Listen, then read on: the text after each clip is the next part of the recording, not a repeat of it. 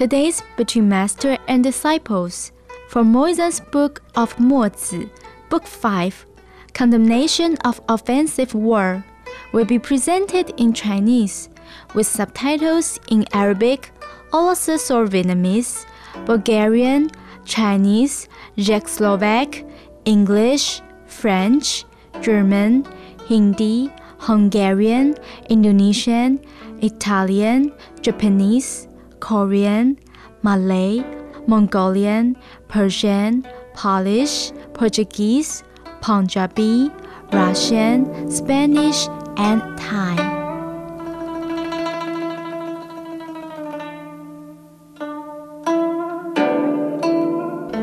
墨子是公元前四六零至三九一年的中国哲学家，也是一位和平主义者。 他周游列国，试图说服统治者放弃征战的计划。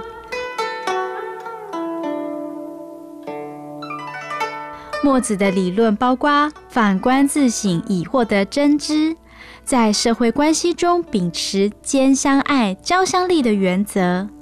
他主张克己。不沉溺于物质或精神的放纵。墨子的哲学认为，一个人的行动必须能为百姓谋求最大利益。现在播出墨子《非攻》其中一段墨子的教理。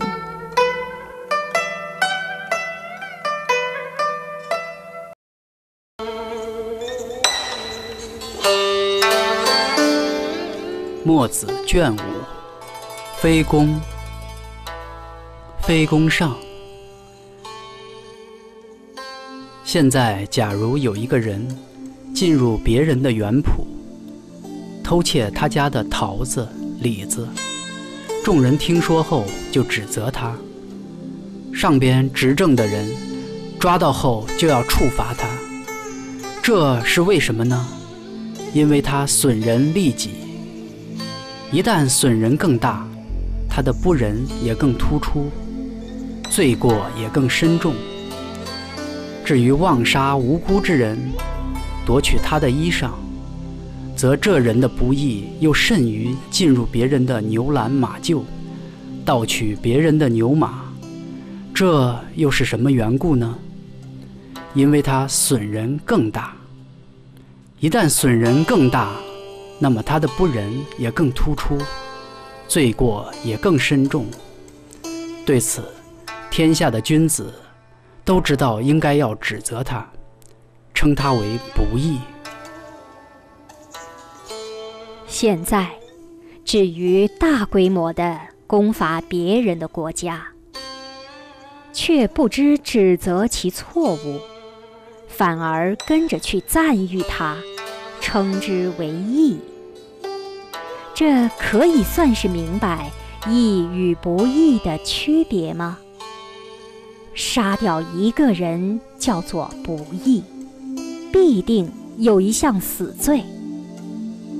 假如按照这种说法，杀掉十个人就有十倍不义，则必然有十重死罪了。杀掉百个人。有百倍不义，则必然有百重死罪了。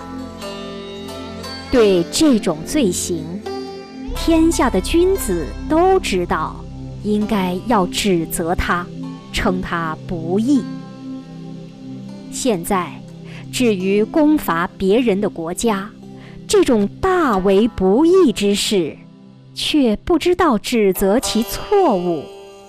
反而跟着称赞他为义举，他们真的不了解那是不易的，所以记载那些称赞公国的话语，遗留给后代。倘若他们知道那是不易的，为什么要记载错误的评断？来遗留给后代呢？假如现在有一个人看见少许黑色，就说是黑的；看见很多黑色，却说是白的；那么人们就会认为这个人不懂得黑和白的区别。少尝一点苦味，就说是苦的；多尝些苦味，却说是甜的。那么人们就会认为这个人不懂得苦和甜的区别。现在小范围内做不对的事，人们就都知道指责其错误；大范围内做，却不知道指责其错误，反而跟着称赞，那是义举。这可以算是懂得义与不义的区别吗？所以我由此知道，天下的君子把义与不义的区别弄得很混乱了。非攻，中。墨子说道：“现在的王公大人掌握着国家大政，他们是否真的希望？”能够毁誉精审，赏罚恰当，刑罚施政没有过失。墨子说：“古人有一句话说，如果谋虑不到，就根据过去推之未来；根据明显的事推之隐微。”像这样谋虑，则所谋必得。现在，假如军队出征，冬天行军害怕寒冷，夏天行军害怕暑热，所以不可在冬夏两季行军。如果在春天行军，就会荒废百姓翻耕种植；如果在秋天行军，就会荒废百姓收获聚藏。只要荒废了任何一季，无数百姓就会因饥寒而冻死、饿死。我们计算一下，出兵时所用的竹箭、羽毛。帐幕、铠甲、大小盾牌和刀柄拿去用后，必坏腐烂的、无法再使用的，多得数不胜数。再加上戈矛、剑戟、兵车，拿去用后破碎、必坏而报销的，也是多的数不胜数。牛马带去时都很肥壮，回来时全部瘦弱。还有很多死在战场上。战争时，因为道路遥远，粮食的运输有时中断不计，百姓因而死亡的不计其数。战争时，人民居处都不安定，饥饱没有节制，老百姓在道路上生病而死的也是不计其数。丧失之事多得数不胜数，军士因而阵亡的更是无法计算，祖先因此丧失后代祭祀的也多得数不胜数。国家发动战争，剥夺百姓的财用，荒废百姓的利益到这种程度。到底为了什么呢？回答说：“我贪图战胜的声名和所获得的利益，所以去做这种事。”墨子说：“计算他自己所赢得的胜利是没有什么用处的，计算他们所得到的东西。”反而不如他们所失去的多。现在若进攻一个三里的城和七里的郭，攻占这些地方，不用精锐之师，且又不杀伤人众，有可能凭空得到它吗？杀人多的必以万计，少的必以千计，然后这三里之城、七里之郭才能得到。现在拥有万辆战车的大国，虚户数以千计，不胜其注入；广阔平野之地，数以万计，不胜其开辟。可见土地是有余的，而人民是不足的。现在让士兵去送死，加重全国上下的祸患。为了争夺一座虚城。则是摒弃他所不足的，而增加他所有余的。施政如此，不是治国的要务啊！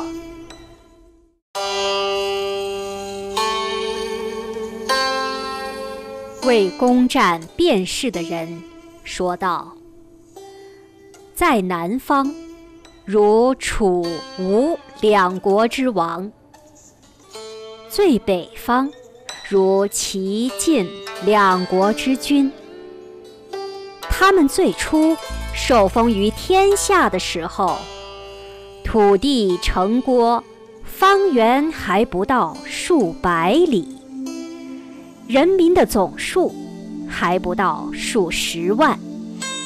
因为攻占的缘故，土地扩充到数千里，人口增加到数百万。所以，攻占是不可以不进行的。墨子说道：“即使有四五个国家因攻占而得到利益，也还不能说它是正道。好像医生给有病的人开药方一样。假如有个医生，他办好了他的药剂，给天下有病的人服药。”一万个人服了药，若其中有四五个人的病治好了，还不能说这是可通用的药。所以孝子不拿它给父母服用，忠臣不拿它给君主服用。古时在天下封国，年代久远的，可由耳目所闻；年代近的，可由亲眼所见。由于攻占而亡国的多的数都数不清，因何知道如此呢？东方有个莒国，这国家很小，而处于两个大国之间，不敬视大国，也不听从大国，而唯利是图。结果东面的越国来侵削他的疆土，西面的齐国。兼并占有了他。考虑举国被齐越两国歼灭的原因，乃是由于攻占。即使是南方的陈国、蔡国，他们被吴越两国吞灭的原因，也是攻占的缘故。即使北方的祖国不图合国，他们被燕、代、胡、墨吞灭的原因。也是攻占的缘故，所以墨子说：现在的王公大人，如果真的想获得利益而避免损失，想安定而避免危险，那对于攻占就不可不责难。为攻占便士的人，又说。他们不能收揽利用他们的民众士卒，所以灭亡了。我能收揽利用我们的民众士卒，以此在天下攻占，谁敢不投降归附呢？墨子说道：“您即使能收揽利用您的民众士卒。”您难道比得上古时的吴王阖庐吗？古时的吴王阖庐，交战七年，士卒披甲执刃，奔走三百里，才停止歇息，驻扎在驻林，取道名义的小径，在博举大战一场，占领楚国中央的都城。并使宋国与鲁国被迫来朝见。及至吴夫差继位，向北攻打齐国，驻扎在汶上。大战于艾陵，大败齐人，使之退保泰山。向东攻打越国，渡过三江五湖，迫使越人退保贵基。东方各个小部落，没有谁敢不归附。战罢，班师回朝之后。不能抚恤阵亡将士的遗族，也不施舍民众，自恃自己的武力，夸大自己的功业，吹嘘自己的才智，怠于教练士卒。于是建筑姑苏台，历时七年尚未造成。至此。无人都有离异疲惫之心。越王勾践看到吴国上下不相融洽，就收集他的士卒，用以复仇。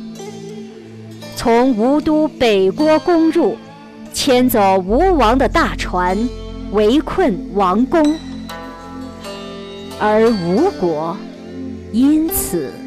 灭亡。从前晋国有六位将军，而其中以智伯为最强大。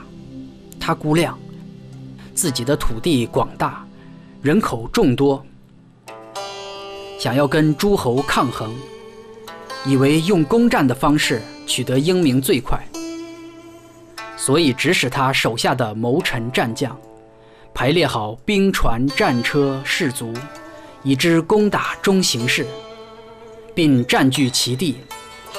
他认为自己的谋略已经高超到极点，又去进攻范氏，并大败之，合并三家作为一家，却还不肯罢手。又在晋阳围攻赵襄子，到此地步，韩魏两家。也互相商议道：“古时有一句话说：‘唇亡则齿寒。’赵氏若在早晨灭亡，我们晚上将随之；赵氏若在晚上灭亡，我们早晨将随之。”古诗说：“鱼在水中不快跑。”一旦到了陆地，怎么还来得及呢？因此，韩、魏、赵三家之主同心戮力，开门清道，令士卒们穿上铠甲出发。韩、魏两家军队从外面，赵氏军队从城内合击智伯。智伯大败，所以墨子说：“古时有一句话说，君子不在水中照镜子，而是以人做镜子。在水中照镜，只能看出面容；用人做镜，则可以知吉凶。现在若有人以为攻战有利，”何不以智伯的失败做借鉴呢？攻战的不吉而凶，是不可争辩的事实。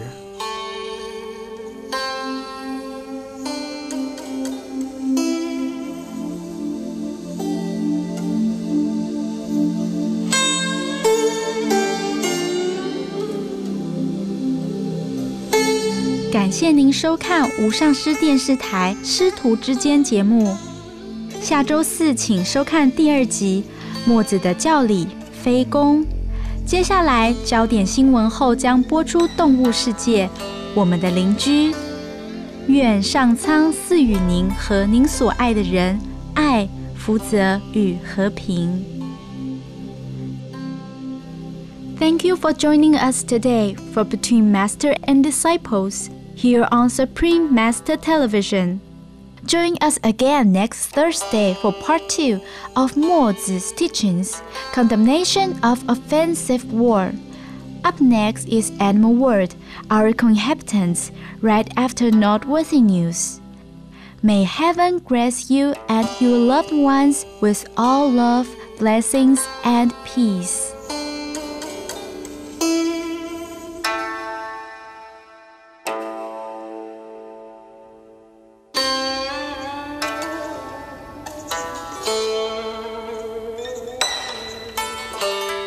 Details, please visit www.suprememastertv.com forward slash BMD.